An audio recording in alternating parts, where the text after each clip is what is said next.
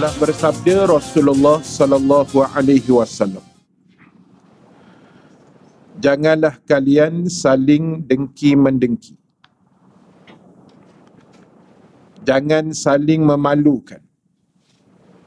Yakni membuka keaiban masing-masing. Jangan saling bermarahan. Jangan saling bertolak ke belakang. Dan jangan khianat mengkhianati. Akan tetapi jadilah kalian hamba Allah yang bersaudara. Al-Fatihah. Bismillahirrahmanirrahim.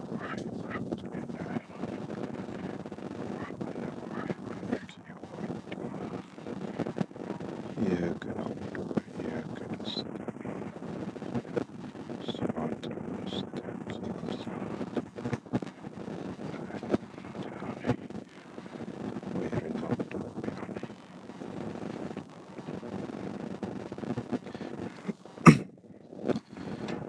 الحمد لله رب العالمين.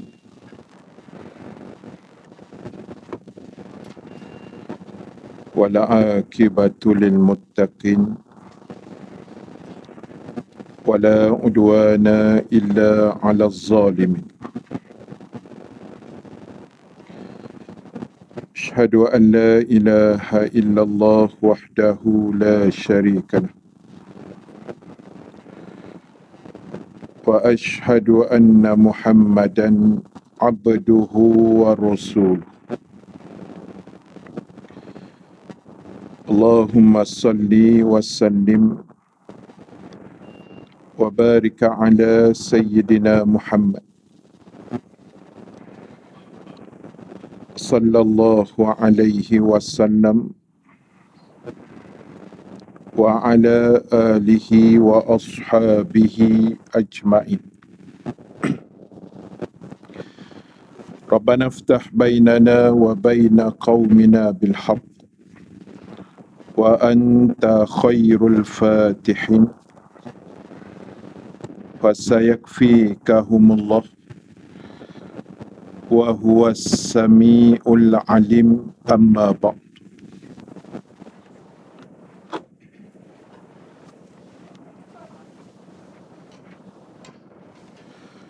Muslimin dan muslimat yang dirahmati Allah Subhanahu wa taala sekalian. Alhamdulillah taala kita memanjatkan kesyukuran kehadrat Allah Subhanahu wa taala dengan keizinannya kita dapat sama-sama berhimpun sekali lagi pada pagi ini. Mudah-mudahan pertemuan kita mendapat berkatan rahmat dan juga keampunan daripada Allah Subhanahu wa taala insya-Allah. Muslimin muslimat sekalian, insya-Allah seperti biasa pada pagi ini kita akan sambung perbahasan dan perbincangan kita menggunakan kitab Al-Azkar dan kita sambung bacaan kita pada muka surat 699 kitab hijau. Kitab lain. 568 622 568 622 699 masih lagi di bawah tajuk haram menghina dan mengolok-olokkan orang-orang Islam. Baik, sambungan hadis uh, yang di atas, hadis yang panjang sedikit daripada Abu Hurairah radhiyallahu anhu ia berkata telah bersabda Rasulullah sallallahu alaihi wasallam la tahasadu wala tanajashu. Wala tabaghadu. Wala tadabaru. Wala yabghi ba'dukum ala ba'd. Wa kunu ibadallahi ikhwan al muslimu akhul muslim. لا يظلمه ولا يخزله ولا يحقره التقوى ها هنا ويشير الى صدره ثلاث مرات بحسب امرئ من الشر ان يحقر اخاه المسلم كل المسلم على المسلم حرام damuhu wa maluhu wa irdih wa irduh. Hadis riwayat imam muslim. Telah bersabda Rasulullah sallallahu alaihi wasallam janganlah kalian saling dengki mendengki. Jangan saling memalukan yakni membuka keaiban masing-masing. Jangan saling bermarahan. Jangan saling bertolak ke belakang. Dan jangan khianat mengkhianati. Akan tetapi jadilah kalian hamba Allah yang bersaudara. Seorang muslim adalah saudara kepada seorang muslim yang lainnya tidak pantas ia berbuat anaya terhadap saudaranya itu tidak pula menghinakannya dan tidak pula merendahkannya. Takwa itu letaknya di sini. Sambil Nabi menepuk atau menunjuk ke arah dadanya sebanyak tiga kali. Dan cukuplah seorang mendapat kejahatan jika ia merendahkan martabat saudara muslimnya yang lain tiap-tiap orang Islam diharamkan yakni diganggu darahnya, hartanya dan peribadi. Baik. Tuan-tuan, ibu-ibu yang dirahmati Allah Subhanahu wa taala sekalian. Pada pagi ini kita nak tengok apa yang dipesankan oleh baginda Rasul sallallahu alaihi wasallam terhadap beberapa perkara yang disebut sebagai suatu bentuk larangan.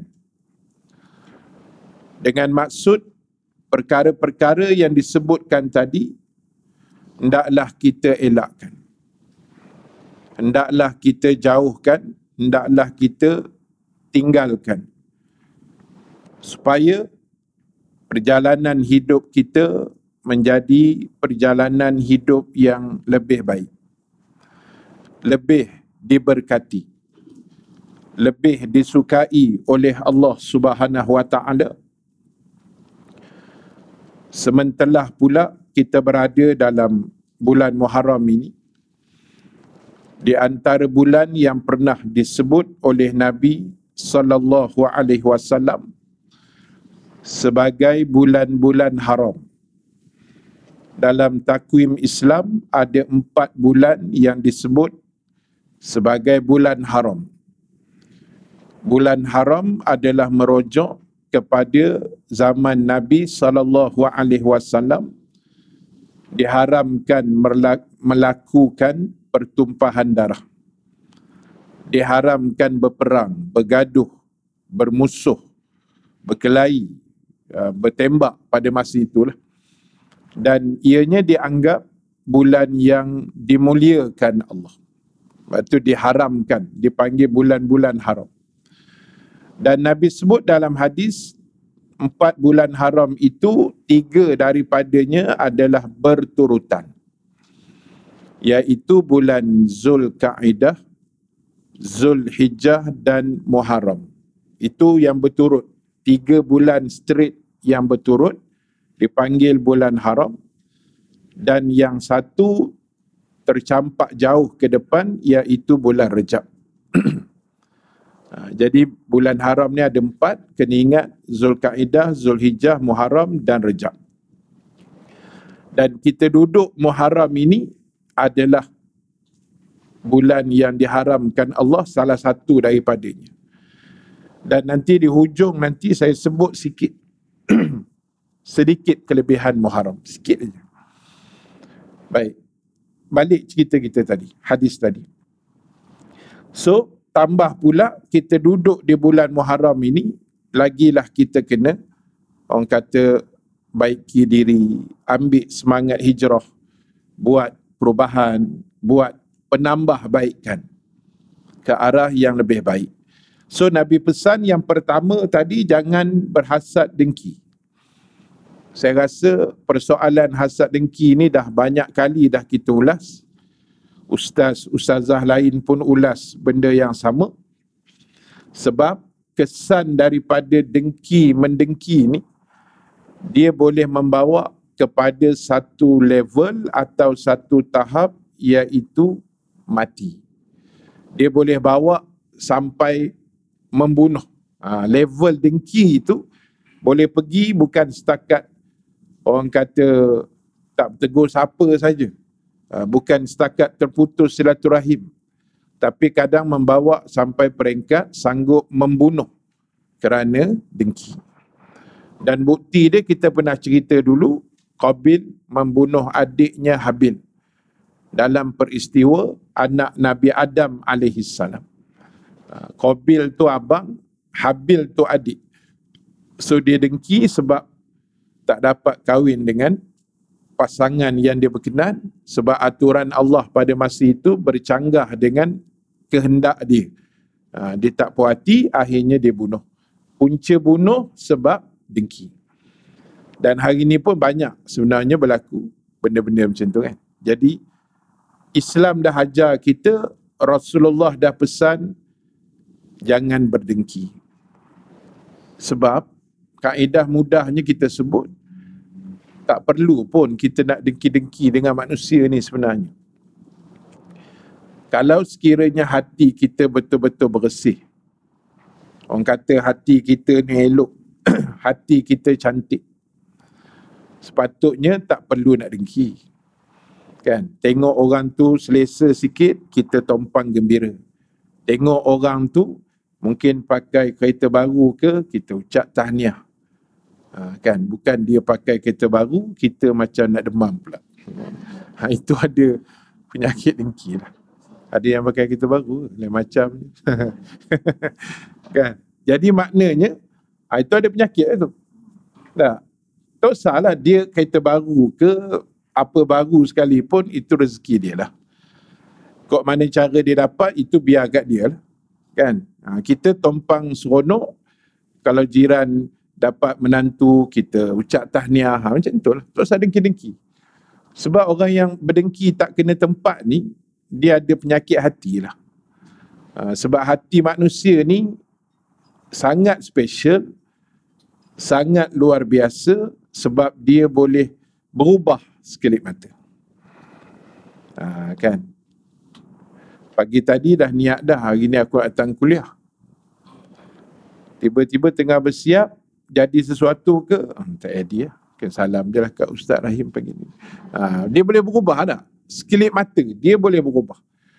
Jadi sebab itulah perlu kita mengaji kuliah macam ni supaya hati itu di disentuh hati itu diingat-ingatkan.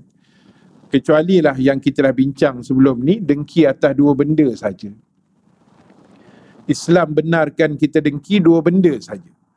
Dengki pada orang berilmu dan dengki pada orang kaya. Itu saja. Tapi kaedah dengki dia kena betul lah. Ha, dengki pada orang berilmu maksudnya kalau boleh aku pun nak jadi macam ustaz-ustaz, ustazah-ustazah, alim ulama, mufti-mufti aku dengki dengan ilmu yang dia ada. Ha, itu boleh. Ha, bukan dengki dengan ustaz santau ustaz tu. Ha, sebab ada dah jadi dulu-dulu ni kan? Ha, sihir ustaz tu ke apa buat benda-benda tak elok fitnah ustaz tu ha, janganlah fitnah ustazah ke ustaz ke ulama kan? Ha, jangan. Dengki kita tengok dia tu ilmu banyak, kita seronok dengan dia, kita pun ya Allah aku dengki betul lah dengan uh, Tuan Haji ni dengan ulama ni kalau boleh aku nak ilmu pun menuju ke situ. Uh, itu dibenarkan. Mana dengki yang sehat. Persaingan nak seronok. Sama juga yang kedua tadi dengki dengan orang kaya sebab kita dengki sebab dengan kekayaan dia tadi dia pula pemurah. Dia boleh infak, dia boleh beri, dia boleh bagi, dia boleh macam-macam. Saya singgah hari Sabtu lepas di satu kedai makan yang uh, saya ingat kedai itu baru tapi dah macam lama juga dah setahun rupanya dah setahun lah jadi uh, kedai itu nama apa eh? Dekat sebelah masjid Kayuara Damansara Masjid Makmuriah uh, salai apa ke nama kedai tu entah. Kan? Dia macam satu dia tak ada bangunan. Dia pacak atap bumbung lepas tu ada kios-kios ha, macam tu. Kedai salai lah. Kedai tu top juga. Jadi di situ masa saya pergi seminggu dua lepas kot pergi makan tengah hari tapi saya keluar rumah lepas zuhur sampai situ dah dua lebih jadi situ ada tengah-tengah tu macam dia ada stage kecil adalah geng-geng menyanyi situ jadi bila saya cedok lauk, masa nak bayar, yang tukar menyanyi tu. dia kata, Ustaz Rahim macam tu jangan jangan ambil duit. Katanya. Oh, sudah, siapa dia pula ni. Kan? Uh, jadi, rupanya anak murid. Uh, jadi anak murid tu rupanya saya pun tak tahu dia tu, baru tahu je. Kenal lama dah, tapi saya tak perasan. Uh, drama, drama dia panggil, pemain drama kan. Dia drama kumpulan Eka Matra uh, drama. Padahal dah kenal lama dah main bola dulu sekali kan. Tapi tak tahu di situ Eka Metra. Uh, sebab drama kan. Belakang tabir lah. Selalu orang kenal penyanyi je. Uh, jadi, bila saya duduk situ sembang dengan kawan di seorang lagi, Eka Matra juga. Dia cerita pasal, uh, dia kata Ustaz, saya share lah dengan Ustaz. Padahal saya baru kenal yang kawan di seorang lagi. Uh, Ustaz ingat yang MH17. 17 eh, yang kena tembak di uh, yang jatuh kena tembak tu dia kata saya tak nak sebut dah position tu apa tapi dia kata salah seorang yang meninggal tu ustaz abang saya abang dia dan dalam banyak-banyak jenazah orang Malaysia yang ada dalam pesawat tu ustaz jenazah abang saya ni yang dianggap paling sempurna ustaz yang paling sempurna Maknanya yang lain tu ada yang hancur kepala, ada yang putus lah apa. Tak, dia daripada hujung ke hujung elok Ustaz. Lebam-lebam tu adalah tapi sempurna tu. Ha, jadi kami sekeluarga pun agak terkejut dia kata. Cuma bila kita, dah, dia macam cerita arwah abam lah. Ha, dia macam tu. Dah mati baru tahu Ustaz. Rupanya abang saya ni penderma utama dekat pusat kebajikan sekian sekolah tafiz sekian setiap bulan dia bagi duit ha. dah meninggal tu baru tahu jadi tu saya kata benda-benda macam ni ha, yang tu kita boleh dengki dengki pada orang kaya yang mungkin jiwanya baik yang rajin infak. Mungkin infak dia kita nampak tak nampak itu tak apalah. Cuma kita teringin ya Allah satu hari besok aku dia orang kaya dengan niat. Ha, pasang niat elok-elok. Dengan niat aku nak tolong seberapa ramai orang yang boleh kita tolong. Macam saya pernah story juga rasanya dan saya pernah berangan tapi angan-angan tu belum lagi menjadi kenyataan. Ibu-ibu, tuan-tuan doakan moga menjadilah. Amin insyaAllah. Saya berangan dia orang kaya. tapi belum belum jadi kenyataan. Kan? Pasal saya teringin nak infak lebih lah. Sekarang ni kita infak juga tapi taklah sebanyak orang kaya kan yang boleh infak. Saya nak infak dekat uh, Pak Gad yang jaga kita punya taman-taman ke apa kan. Saya nak infak dekat orang yang sapu rumput, apa mesti rumput tepi highway, yang sapu sampah dekat yang lori datang ke sampah. Kita kesian sebab kerja teruk, risiko tinggi kan. Mesin-mesin rumput tepi highway tu, oi risiko tinggi. Oh. Kalau dibuat ada orang mabuk, terbabah ke apa, memang habis Lepas tu masa zaman dulu-dulu lah, sekarang ni dah tak ada dah. Kan dulu ada penjaga tol. Tengah malam bekerja, anak dara mana pun tak tahu kan, jaga tol tengah-tengah malam. Ha, masa tu kesian juga rasa nak bagi duit kat dia. Tapi kita pun tak berapa nak ada juga kan. Ha, jadi saya memasang niat tu lama dah. Tapi yalah insyaAllah lah kot. Ha, mudah-mudahan ada satu hari besok kan. Jadi ha, macam tu tak apa. Kita dengki dekat orang kaya sebab dia rajin infak dia rajin sedekah. Kita nak tiru macam dia. Bukan dengki dengan orang kaya, kita buat sesuatu memiskinkan orang tu. Itu tak boleh lah. Ha, tu kena faham. Jadi, bila Nabi kata, jangan hasad dengki, maknanya tak sah lah. Kan? Ha, bila kita dapat keluar putusan SPM kan, anak jiran 10A, anak kita 10B, tak ada masalah. Bawa-bawa tenang. Kan? Sebab kita je kenal anak kita macam mana tak. Terus ada dengki lah. Alah anak dia 10A mesti meniru macam tu. Ha, dengki-dengki. Tak usahlah. Biarkan. Anak dia 10A, tahniah anak kita 10B, itu rezeki anak kita lah. Kan? Biar kita belajar redha, belapang dada. Sebab kita kenal anak kita kan. Ha, memang anak orang sebelah tu jenis rajin. Tuition rajin pergi. Dia pula pengawal di sekolah kan. Ada kriteria yang hebat pada diri dia. Ha, jadi, tak usah dengki lah. Baik, yang kedua, Nabi kata jangan saling memalukan, yakni membuka aib dan sebagainya. Jadi Islam ajar kita, siapa yang menjaga aib saudaranya, Allah akan tutup aibnya di akhirat. Ha, kaedah dia gitu je. Kena ingat yang tu. Siapa yang tutup aib saudaranya, maknanya dia tak dedahkan dengan niat nak memburukkan. Dia bila mendedah tu sebenarnya nak memburukkan lah. Nak memalukan, nak menghina kan. Nak menjatuhkan maruah, nak mengaibkan. Siapa yang buka aib, Allah akan buka aib dia di akhirat. Siapa yang menjaga aib saudaranya, dia menutup, dia cover, dia tolong uh, backup. Maknanya jangan didedahkan sangat benda-benda tak elok ni. Dia tolong sama, jaga. Allah akan tolong dia besok dengan menutup aib dia. Sebab itu tuan-tuan ibu-ibu sekalian, pernah saya sebut dan saya yakin ustaz lain pun sebut benda yang sama. Kita ni wajib bersyukur kepada Allah. Sebab kita ni nampak baik sebenarnya bukan sebab kita baik sangat. Ya. Uh, Jawapan dia sebab Allah tutup aib kita. Jadi tak usah perasan sangat lah. Tak, tak usah kita rasa, oh, aku ni hari-hari datang Masjid Falah ni kira baik. Dah. Baguslah kita datang kuliah tu bagus. Tapi kita kena sedar. Syukur sebab Allah tutup aib kita. Itu saja. Sebab kita ada sejarah-sejarah yang mengerikan sejarah hitam kita zaman jahiliah Quraisy dulu. zaman kalau tengok rata-rata umur 50-an ke atas ni kan, ha, dia pernah rasa zaman 60-an, 70-an dulu je. Ha, pernah rasa zaman tu, Pok Ye apa semua ni. Kahwin zaman awal 80-an dulu, uh, wajibul gunah bersanding kan. wajibul gunah oh, bersanding. Karaoke, tu semua zaman jahiliah kita dulu lah zaman kita tak reti apa.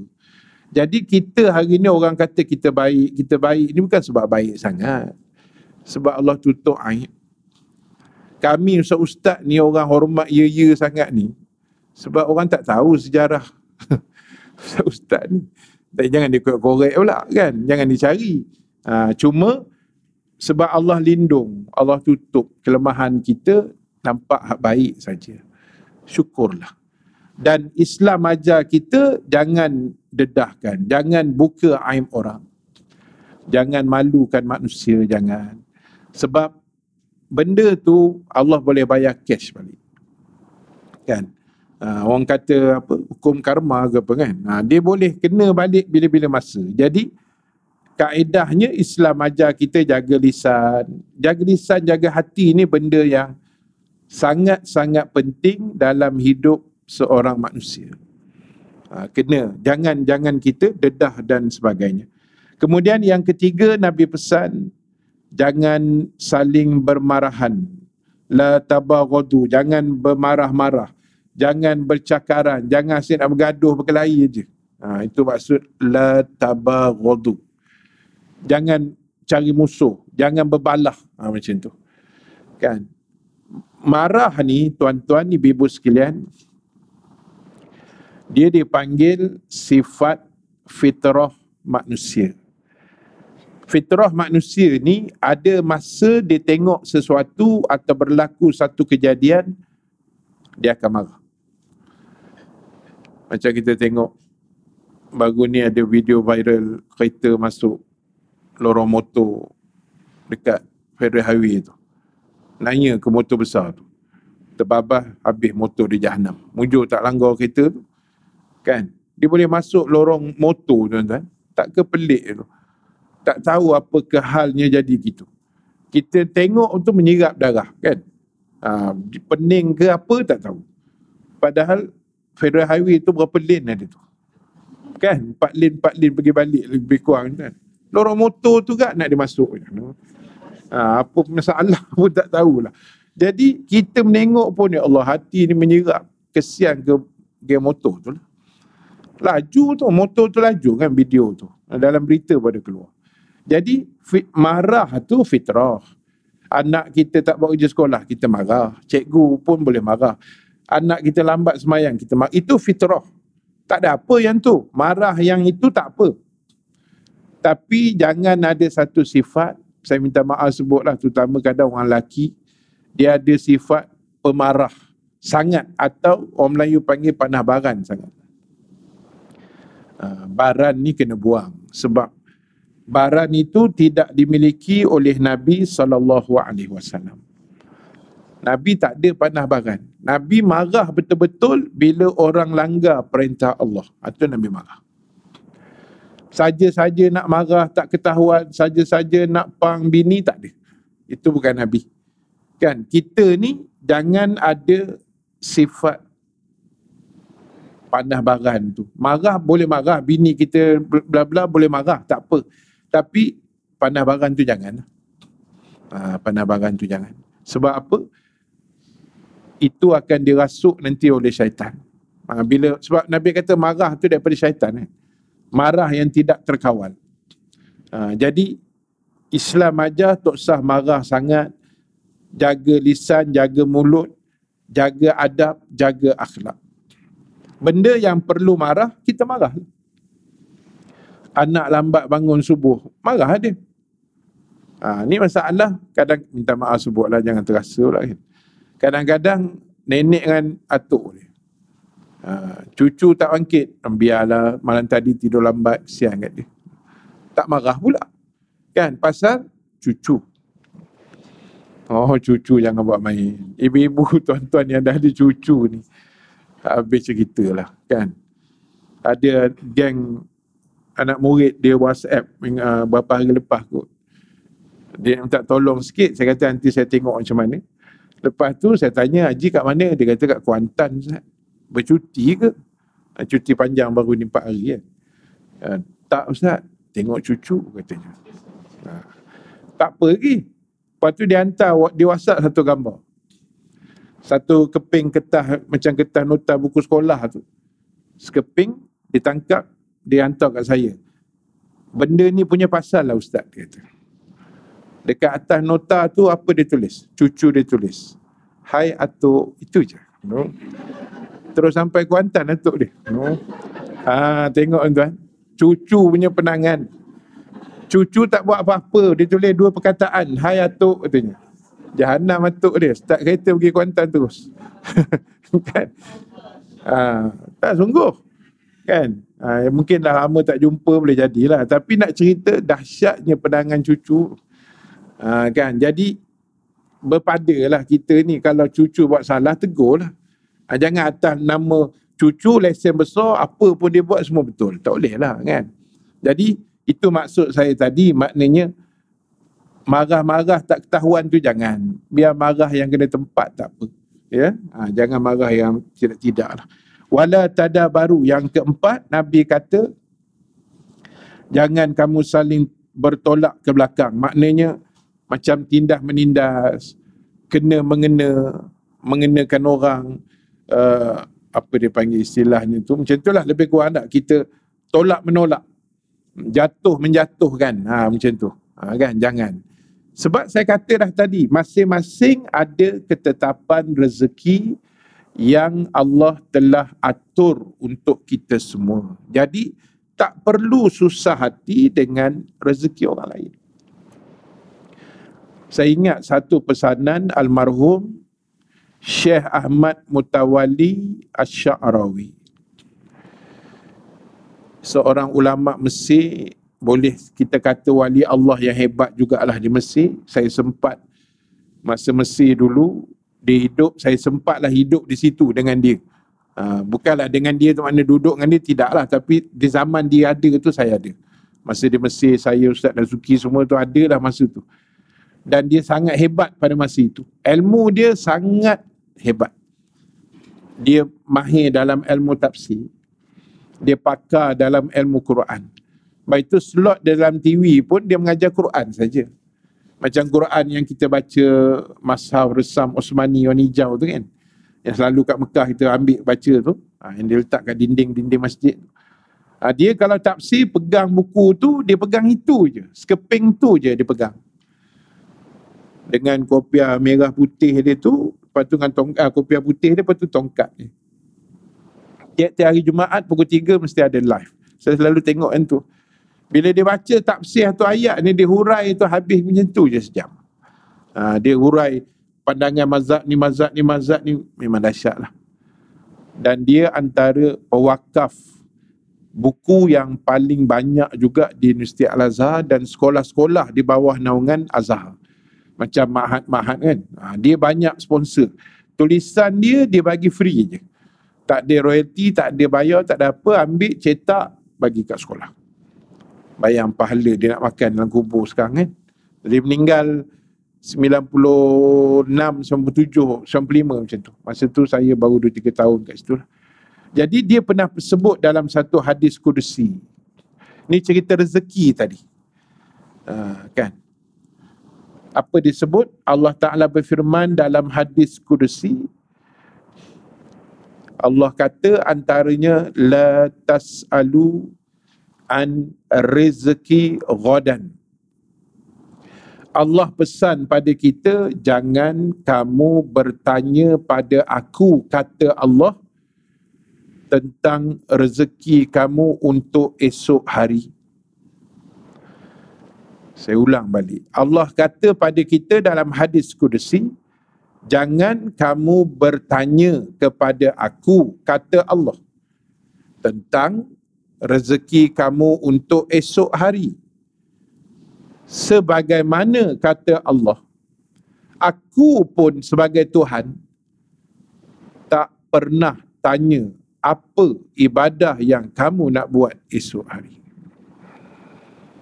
makan dalam ayat tu. Ha, kalau faham tu kira okey lah tu. Tak usah tanya rezeki kita besok apa tak payah tanya. Sebab Allah pun tak pernah tanya esok engkau nak buat apa kat aku. Tak pernah tanya pun. Maknanya Allah nak beritahu rezeki tu dia tu tak usah kalut lah.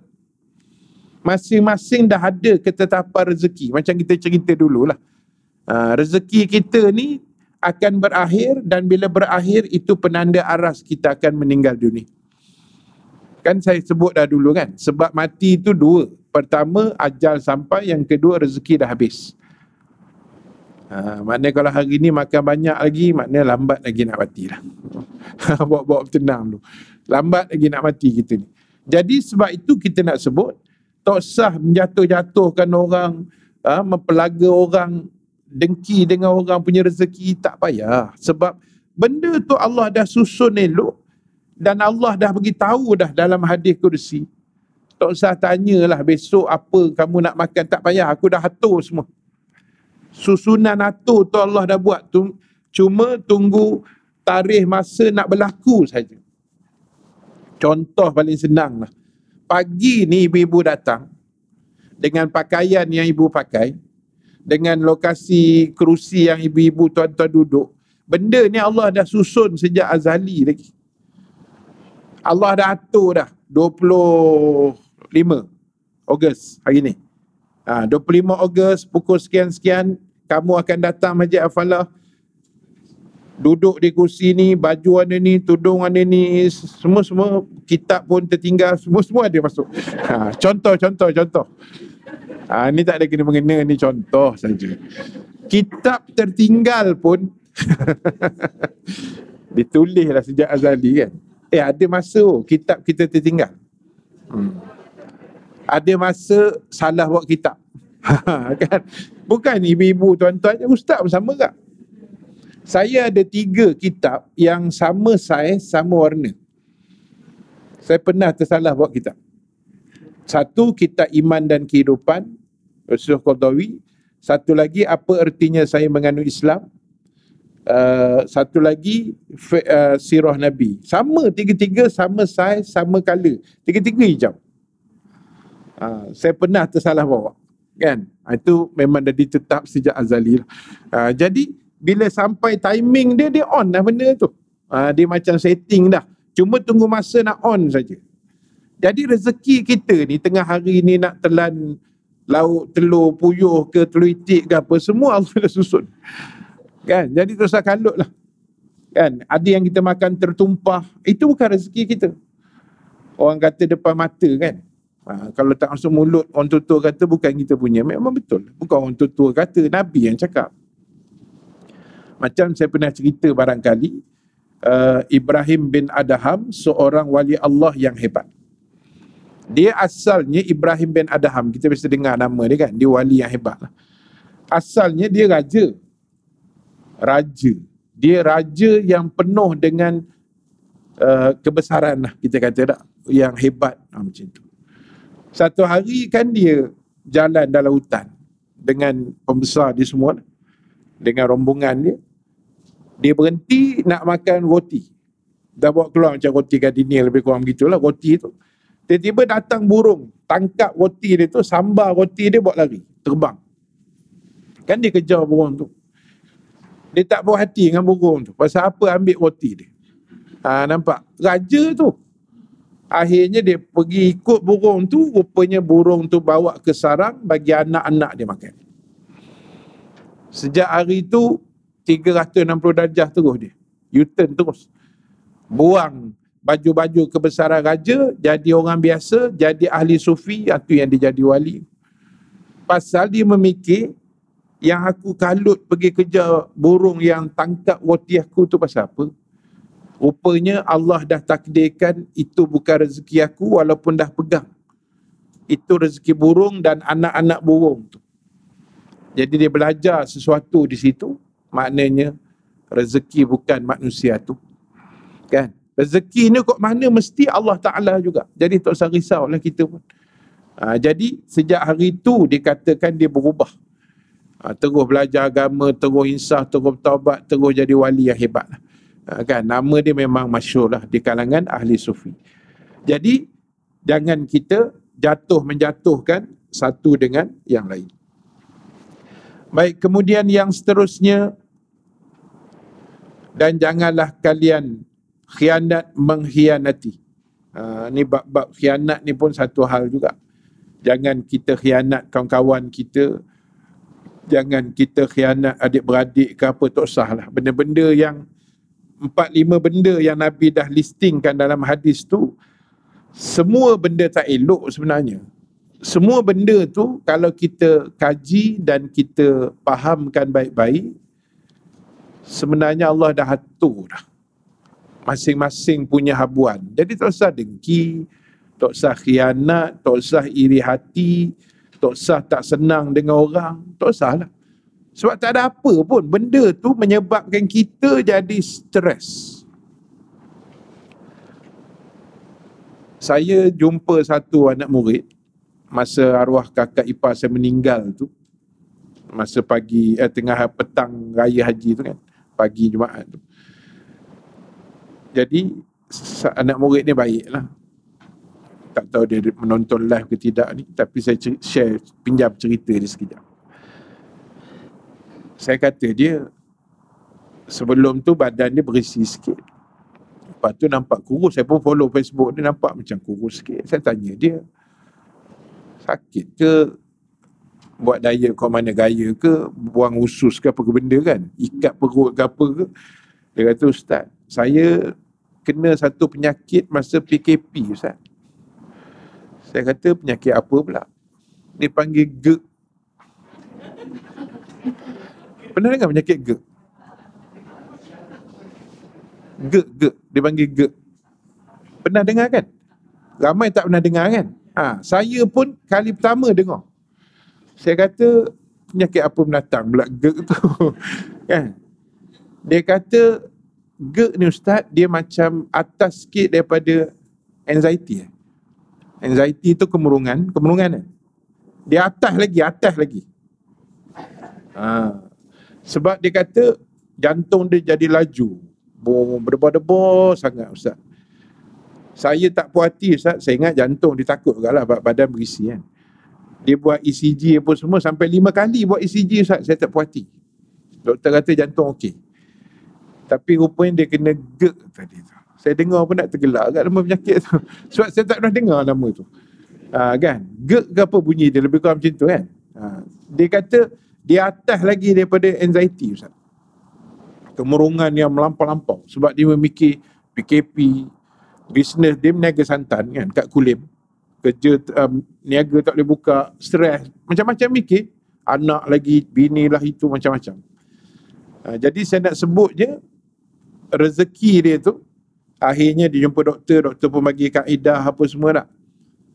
Akhirnya, yalah, saya tengok hari ni pun, dia jadi nampak lebih uh, kurus sikit lah. Kurus sikit, lebih sehat, lebih orang kata bertenaga, lebih berkeyakinan. Jadi masa 19 Ogos baru ni Bersedih saya kan 19 Ogos baru ni Jadi dia call ha, Saja saya beritahu tu no? ha, Point cerita dia sebenarnya yang itu je no? Tak ada Saya nak cerita dia call tu Sebab sebelum ni Dia antara anak murid yang tiap-tiap tahun Dia mesti ucap Selalu whatsapp ha, Kali ni dia call Saya kata eh selalu File whatsapp je Tak apa Tuan Guru Dia panggil Tuan Guru kan Padahal tak tak ada apa yang tuan guru sangat pun dia hormat. Dia kata tak apa ustaz, kali ni saya call. Saya nyanyi lagu mesti tu. No. Lepas tu saya cakap dia, Fai, itu hari kita ada bincang pasal nak sembang pemakanan, macam mana, apa, exercise. Boleh tak, Fai, WhatsApp kat ustaz balik sebab itu kita sembang macam tak fokus. Sebab doktor ingat arwah apa semua kan. Jadi sembang juga tapi tak fokus. Ha, kata insyaAllah ustaz nanti Fai hantar suara apa sampai hari ni tak hantar lagi. Ha, itu masalah dia. kan? Mungkin dia pun sibuk ke mana tak tahu. Jadi, nak sebutnya, tuan-tuan ibu-ibu sekalian, kita tak usah buat naya kat saudara kita dan jangan merendah-rendahkan khianat mengkhianati. Dan Nabi pesan dalam hadis tu, jadilah orang Islam yang bersaudara. Bersaudara ni maksud dia berkasih sayang. Bila bersaudara, kita anggap semua orang Islam ni saudara, dia akan timbul satu ikatan dalam hati kita. Bila kita tengok dia susah, kita jadi susah. Macam saya pernah cerita, saya tak tahulah juga, tapi rasanya makcik tu tak tengok kot. Live saya, saya boleh cerita lah. Ya. Ha, makcik ni, ada seorang makcik ni sangat susah. Kan? Masa PKP tu bertalu-talu dia SMS dia tak ada WhatsApp dia SMS SMS Yalah dia nak minta sumber keuangan kan? Saya pernah saya pun pernah collect untuk dia dulu. Anak dia 10 laki terlantar. Lepas tu susah lah sang anak dia ada yang OKU ada yang penyakit kulit Allah uji dia tu sangat luar biasa lah pada saya dia duduk di Batu Muda Gombak kat Sentol jadi masa PKP dia minta-minta sumber, saya pun tak ada sumber masa tu kan. Uh, kita pun tak ada kuliah, tak ada apa. Jadi mana yang ada sikit-sikit geng-geng audio kuliah derma-derma tu kita pun bagilah sikit. Lepas tu dia selalu juga minta lah pasal mungkin dia tahu saya ustaz. Ada sumber-sumber kan. Uh, sedangkan kuliah-kuliah pun baru nak on balik. Baru tak stabil lagi. Jadi baru ni dia mesej kat saya ustaz akak baru keluar hospital ustaz uh, baru balik rumah baru keluar wad ni nak makan pun tak ada masak nasi makan dengan air macam mana entah saya dengar ya Allah saya masa tu nak kuliah tau saya pun tengok dalam akaun ada sikit saya tembak terus duit ada dalam tu kan saya nak sebutnya apa bila sesama muslim dia susah kita pun jadi susah hati. Ha, tu baru betul ada link kasih sayang tu. Sama kaedah dia juga. Bila orang tu senang kita tompang gembira. Bukan orang tu senang kita dengki-dengki kat dia. Kaedah sama je. Selama mana itu belum wujud makna kalau saudara kita susah kita pun susah hati. Saudara kita senang kita tompang gembira selama itu dua elemen belum wujud maknanya istilah saudara Islam tu belum kuat lagi. Ha, kan? So kena jaga dua benda tu. Sebab itu ada kesusahan, kepayahan ke apa, kita tolong bantulah. Kalau ada kesenangan, kita ucap tahniah, kan? Katalah kita tengok orang tu dapat zuriat lagi, kan? Ucap tahniah kat dia. Ha, walaupun anak kita mungkin tak ramai 3-4 orang, kita tengok dia dah nak masuk 13 dah Ustaz. No? Biar kat dia tu rezeki dia. Jangan cakap kat dia lain kali ajar panggil ambulans lah letak ke rumah ni senang. Tiap-tiap tahun saya beranak je katanya. Itu rezeki dia biar kat dia. Yang kita lah susah hati kenapa dia yang beranak bukan kita pun kan. Ha, tapi kadang-kadang kedengkian tu manusia kan. Jadi Nabi pesan, jadilah saudara Islam yang baik. Jadilah hamba Allah yang baik. Dan Nabi kata, tidak pantas seorang Islam membuat anaya kepada saudara Islam yang lain, tidak menghina dan tidak merendah-rendahkannya. Kita jangan hina orang, kita jangan merendah-rendahkan manusia lain sebab kita kena ingat macam ni. Uh, Allah bagi kita kelebihan, kekurangan masing-masing tidak akan sama. Kita tak usah tengok jauh-jauh lah. Kita tengok dalam adik-beradik kita. Kita ada berapa orang adik-beradik? Ada lima, ada sepuluh kan? Saya tiga belas. Jadi, dalam adik-beradik ni kalau sepuluh orang pun, masing-masing tu dia takkan sama punya. Watak tidak sama, perangai tidak sama, kelaku tak sama, sikap tak sama, cara berjalan pun tak sama, cara make up pun tak sama, semua tak sama. Adik-beradik punya PL kan, semua tak sama. Kelebihan pun tak sama. Yang Along ni dia memang rajin tolong orang. Along. Nanti memang suka tolong. tuan-tuan lambat lah tuan-tuan ni. Tak sarapan ke apa ni? Kan? lambat menangkap. Along kan dia suka tolong kan. Ha, lepas tu anak nombor dua dia jenis tak boleh tengok skru-skru. Ha, dia jenis gitu pula. Ada skru pintu longgar dia pergi skru. Ada ni patah kan lagi dia pergi godam. Itu nombor dua. Nombor tiga kan bab komputer pula. Telefon, komputer, gadget. Ha, semua dia cakap. Kan tak sama tu. Ha, yang anak perempuan pula dia suka jenis menghias. Yang ni pula suka buat kuih. Yang ni suka pula buat lauk, masak. Dia ada pattern. Takkan sama. Jadi kita ni kelebihan tak sama, kekurangan pun tak sama. Jadi sebab itu kena saling lengkap melengkapi tu. Ha, kan kena saling bantu membantu. Macam kami lah ustaz-ustaz, dia takkan sama punya. Dan susunlah listing nama ustaz yang mengajar di Al-Falah ni. Kalau panggil semua tapi orang tak nak buat lagi lah. panggil semua penceramah ni susun kat depan ni. Tapi kami pernah buat oh. Uh, geng ustaz pernah buat dulu tapi itu anjuran Masjid Aridwan. Di Ulu Kelang, Abang Jai. Kan? Pernah lama berapa tahun dulu. Dia panggil semua ustaz, disusun semua buat forum. Tapi seorang lima minit. Tak puas lah bercakap. Dah ramai. Kat sepuluh, lima orang ustaz ni. Naik pening, duk atas pentas, tak tahu apa nak bercakap kan.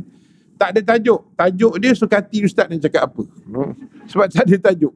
Ha, cakap, saya pun ambil cakap 5 minit. Lepas tu pasing Ustaz Man Cina, Ustaz Nazuki, Ustaz itu, Ustaz Ramai. Kan? Lah 10, 15 orang, 20 Ustaz duduk sederet begini. Semua Ustaz tu takkan sama. Cara bercakap tak sama, tarikan tak sama, peminat pun tak sama. Kan? Peminat masing-masing ada oh, jangan main-main. Ustaz Nazuki ada peminat dia sendiri saya mungkin ada lah, mungkin lah. Sedih benar ayat tu kan. Mungkin ada. Mungkin ada lah, sikit-sikit kan. Uh, Ustaz ni Bakri ada peminat, masing-masing ada kan. Ada subjek yang dia minat, memang macam tu. Jadi takkan sama, jadi tak perlu nak dengki-dengki. Kita baiki, hijrah ni ajar kita baiki diri. Kan? Hijrah ni ajar kita jangan uh, semangat hijrah saja. Ambil perubahan, muhasabah diri sebab Nabi kata al-muhajir man hajara manahallahu anhu. Orang yang berhijrah itu kata Nabi orang yang meninggalkan apa yang dilarang oleh Allah. Ha, jadi kita ubah. Hijrah ni pada saya kita ubah. Sebab hijrah ni kan berubah. Pindah-pindah tempat kan. Mekah, Madinah itu hijrah yang asal lah. Jadi kita ubah balik. Mana amalan kita tak berapa comel, kita comelkan. Amalan kita tak apa lengkap, kita lengkapkan. Amalan kita yang berasa macam kurang. Tahun lepas saya kurang semain duha Ustaz. Ha, tahun ni tambah sikit. Tahun lepas saya kurang mengaji Quran. Tambah sikit baiki baiki penambah baikkan dipanggil itu hijrah yang sebenar yang kita kena buat tak perlu pindah-pindah kandah dah kan kita ubah yang tu saja sebab kalau kita nak bersembang tentang hijrah rasul terlalu luas uh, jadi kita ambil benda tu sebagai kesimpulan dia buat perubahan diri semak balik kalau ada catatan aku ni tahun lepas 1441 Hijriah kehadiran kuliah aku puas hati ke tidak? Ha, contoh gitu kan. Semain sunat aku okey ke tak tahun lepas ni? Ada tak perlu nak ditopak-topak lagi? Sedekah aku tahun lepas rasa-rasa puas hati ke tidak? Ha, contoh. Masing-masing muasabah lah. Masing-masing dia yang tahu apa yang dia buat. Ha, jadi sebab itu, ibu-ibu sekalian, Nabi pesan benda tu. Jangan merendahkan manusia, jangan hina dan sebagainya. Dan Nabi kata takwa itu ada di sini. Nabi tepuk dada dia di sini tiga kali dengan tangan. Nabi kata at-taqwa hahuna.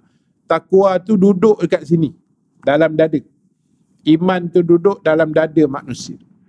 Dan Nabi kata cukuplah seorang mendapat kejahatan jika dia merendahkan saudaranya yang lain dan tiap-tiap orang Islam harus jangan diganggu darahnya, harta dan peribadi. Maknanya itu dipanggil irdihi benda yang terpelihara dalam Islam Islam ni dijaga darah kita tak boleh membunuh suka hati jaga harta kita jangan diambil dicuri dirampas kan? Ha, jaga uh, peribadi kita makna maruah diri jangan dihina dia. Ha, macam tu. Sebab Islam ni agama yang sangat cantik. Dia bukan sahaja menjaga manusia tapi dia menjaga seluruh alam.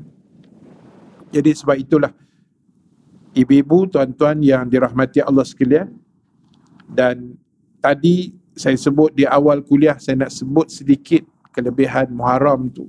Sikit satu je sebenarnya yang saya uh, ada baca sikit iaitu uh, bila sahabat bertanya kepada Nabi sallallahu alaihi wasallam tentang apakah puasa yang paling afdal untuk dibuat oleh manusia selepas bulan Ramadan sahabat tanya ke Nabi sendiri dan Nabi jawab berpuasalah dalam bulan Muharram yakni puasa sunat lah jadi antara kelebihan Muharram yang kita kena cuba rebut ialah perbanyakkan puasa sunat itu atas kemampuan diri masing-masing ya ikut kemampuan. Kalau rasa mampu, bismillah jalan. Tak mampu, tak payah puasa.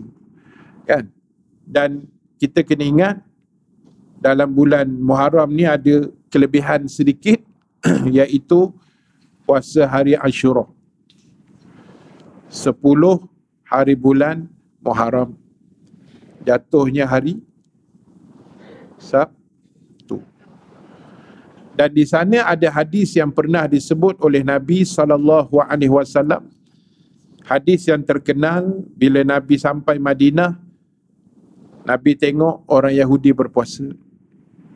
Lalu Nabi tanya mereka, kamu puasa apa hari ini? Mereka jawab, kami puasa hari Ashura. Ya, Ashura maknanya hari ke-10. Ashura itu maknanya 10. Ha, 10 Muharram. Tapi orang Melayu lebih sinonim dengan bubur. Bob tenang. Kan? Bubur Ashura tu. Ha, jadi, saat kita cerita pula buat bubur tu sikit. Ha? Ha, jadi, Ashura tu maknanya sepuluh. Bila Nabi tanya Yahudi pasal apa puasa hari ni? Sebab hari ni sepuluh Muharram, hari yang Allah selamatkan Bani Israel dan Nabi Musa daripada uh, serangan Bani Israel apa semualah. Allah selamatkan Musa daripada Firaun dan sebagainya. Jadi kami layak berpuasa, kata Yahudi Madinah. Lalu Nabi jawab pula, aku dengan Nabi Musa, aku lebih layak pada Musa berbanding kamu, kata Nabi. Aku ni Nabi, Musa pun Nabi, kami sama level. Aku lebih layak berbanding kamu dengan dia. Aku lebih layak, kata Nabi. Lalu, Nabi cerita pada sahabat dan Nabi kata pada geng-geng Yahudi, kamilah sebenarnya yang lebih layak berpuasa berbanding kamu. Dan bila sahabat tanya Nabi, adakah boleh kita puasa Ashura? Nabi kata boleh, tapi lebih cantik puasa Tasu'a. Tasu'a maknanya sembilan. Tasu'a tu tis'a. Tis'a tu sembilan lah. Hari ke sembilan. Muharram. So kalau sembilan maknanya hari Jumaat. So, hari apa nak puasa ni?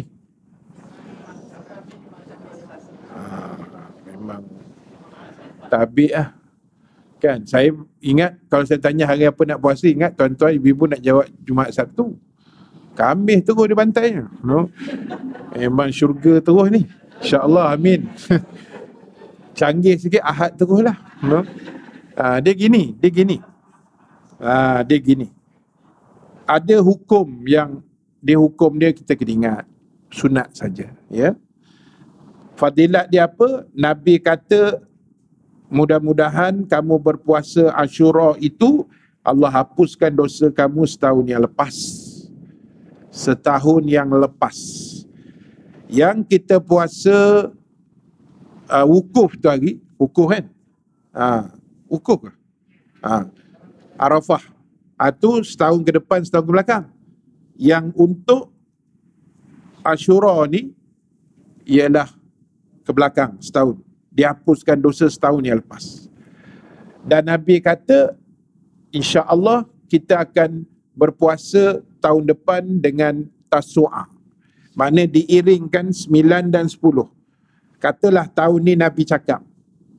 Kes yang Yahudi tu kan.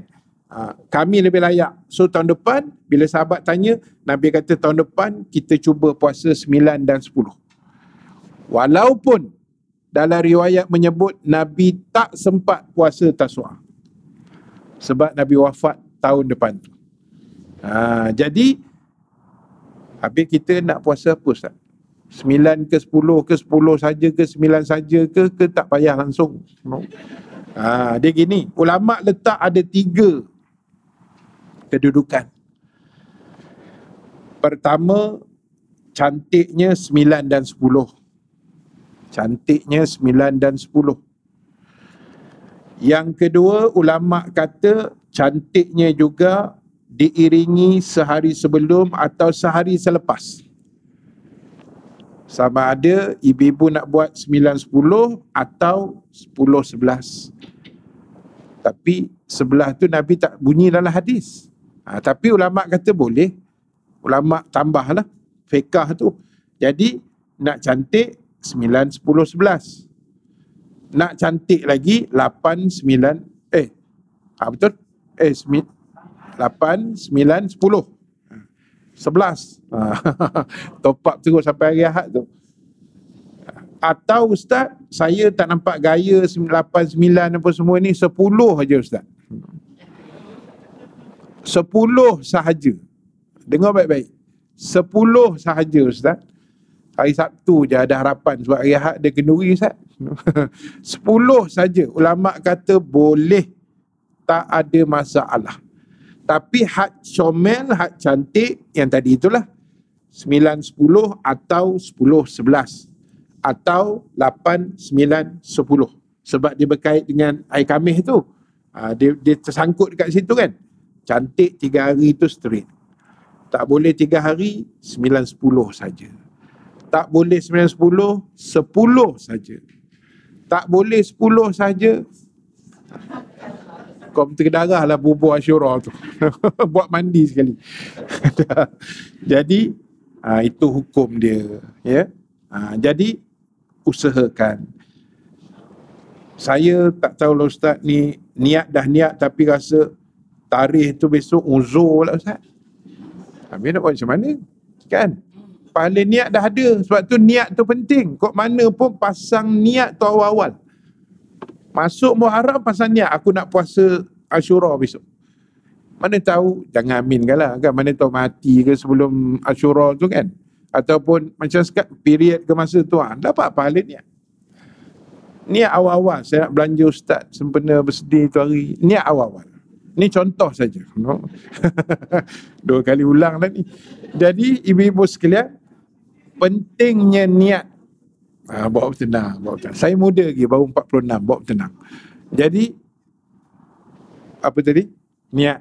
Ha, niat tu penting. No? Sebab itu, bukalah mana-mana kitab yang ulama tulis pun, kita apa sekali fiqah ke tauhid, mukadimah tulisan dia mesti dia masuk hadis. Innamal a'malu bin niat. Kan, dia akan tulis lah, sesungguhnya saya yang menulis, fakir yang menulis kitab ini, memastikan niat kita adalah betul untuk menulis bla bla bla. Dia mesti masuk hadis tu. Sebab niat dalam Islam itu sangat penting. Niatlah yang membezakan adat dan ibadah. Niat akan mengubah adat menjadi ibadah. Contoh, kita masuk masjid. Adat bila masuk masjid, duduk. Adat dan adab masuk masjid, duduk elok-elok. Itu adat. Tapi bila kita ubah hadap tu dengan niat, dia akan jadi ibadat. Duduk, niat etika, ha, dapat apa dia? Daripada duduk saja-saja tadi tak dapat pahala apa. Ubah je jadi ibadah, niat punca menjadi berubah tu sebab niat itu. Ha, jadi ibu sekalian, niat elok-elok. Kan? Ha, niat elok-elok. Saya niat tahun ni lagi umrah Ustaz. Niat je.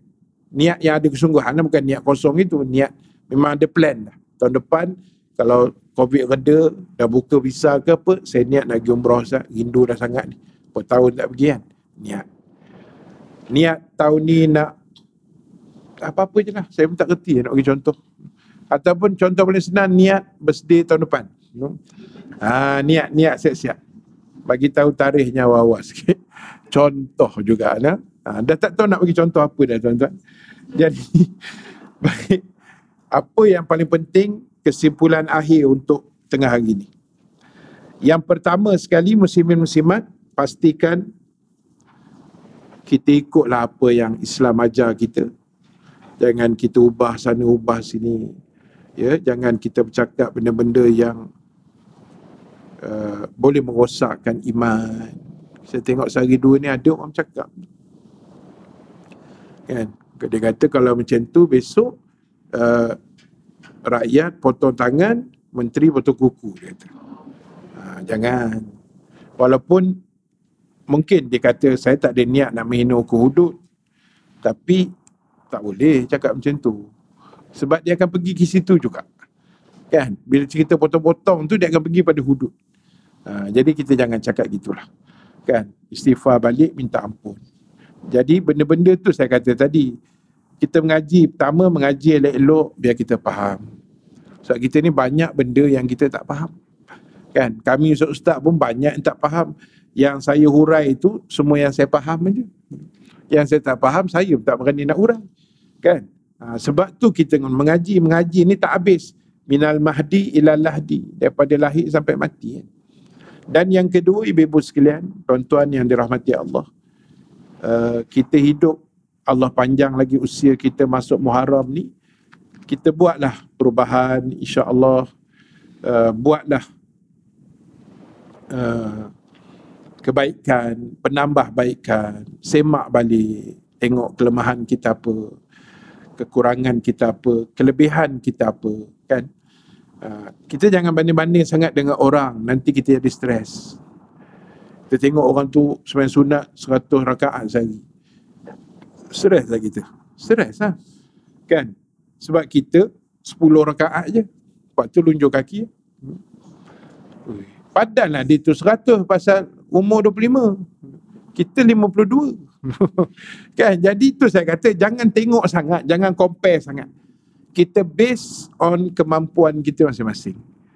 Ha, nak puasa ni pun ialah ada kadang dah bumur-bumur ni gastrik lah bagai kan.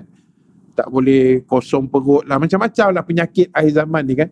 Uh, kosong perut tak boleh, kosong poket tak boleh. Macam-macam penyakit. Ujung-ujung tahun ni banyak dah penyakit. Jadi tengok kemampuan kita. Kalau mampu kita buat. Tak mampu, saya tak boleh puasa Ustaz. Tiba-tiba period pula lah hari Sabtu Ahad ni.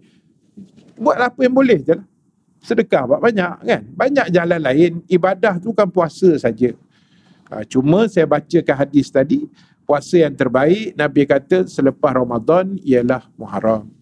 Ha, jadi kita cubalah insyaAllah. Dan yang terakhir tuan-tuan ibu-ibu sekalian apa pun yang kita buat uh, kita niat ikhlas kerana Allah. Manusia nak kata apa-apa-apa ni biar kat dia lah kan?